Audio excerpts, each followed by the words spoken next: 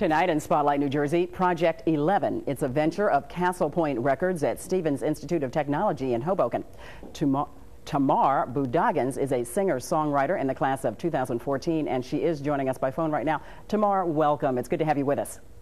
Hi. Now, what is Project 11, and how did this begin? Project 11 is a compilation of 11 songs on an album and the album is being released by Castle Point Records, and that's a student-run business on Stevens Institute of Technology's campus.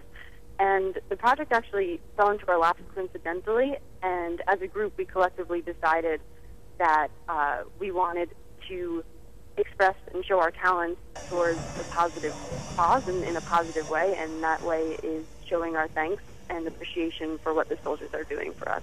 Oh, I bet the soldiers appreciate that tomorrow. What a positive message that fits right in with our theme of Spotlight New Jersey. You've contributed a song of your own to this project along with helping design the campaign as Noriel Valdez told me. As a songwriter, what's this experience been like for you? Uh, it's been a really good experience so far. Um, I was hesitant. Um, I didn't know if I was going to do it. I was sitting in meetings, and as uh, time progressed, I realized I wanted to be a part of it. And I submitted a song mostly because it's my personal thank you to the veterans and to the soldiers. You know, I'm in a classroom and they're not, and I have that right because of them.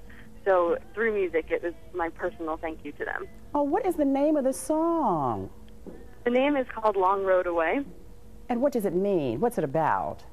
It's about, uh, on the surface, it's, uh, it just shows my thanks, and it's kind of about how regardless of, of race or religion or political affiliation, that uh, Americans thank the veterans and we recognize and realize what they're doing and understand where they're coming from.